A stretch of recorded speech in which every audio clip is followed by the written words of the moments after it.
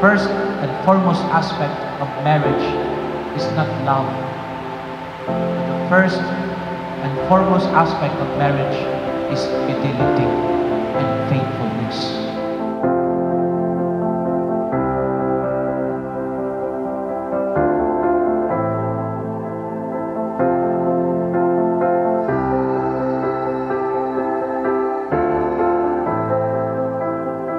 What great love God has manifested to each one of us.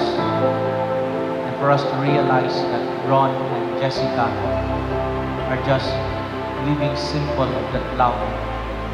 That they themselves would want to live so that having to share to one another the gift of love that we have received from the Lord.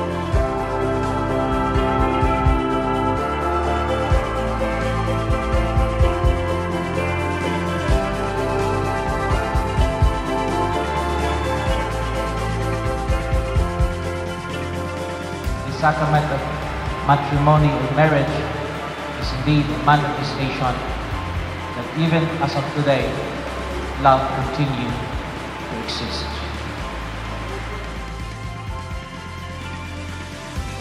You are here today to seal your love in an eternal bond before the church, and I assure you of the praise of our community that God pour His abundant blessings in your love and help you to carry out the duties of the marriage state.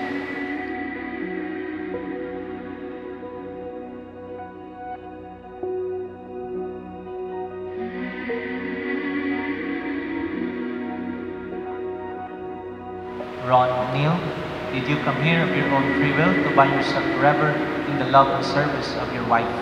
Yes, Father.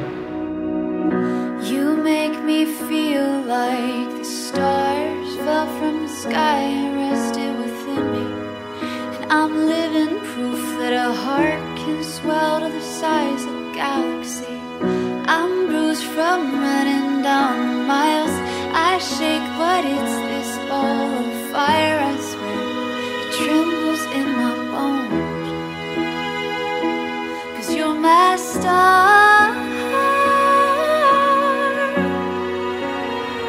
Jessica, You're my did you come here of your own free will to bind yourself forever in the love and service of your husband? Yes, Father. The sea of faces, they fade into the dark and light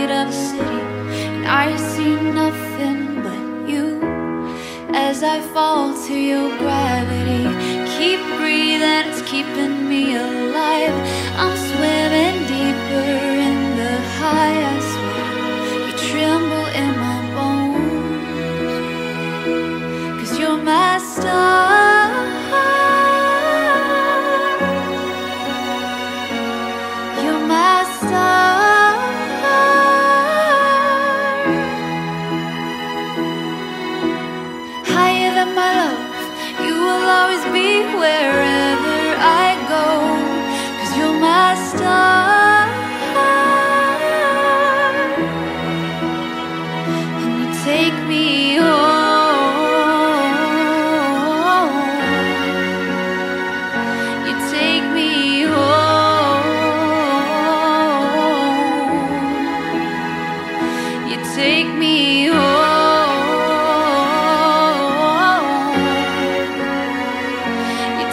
me home.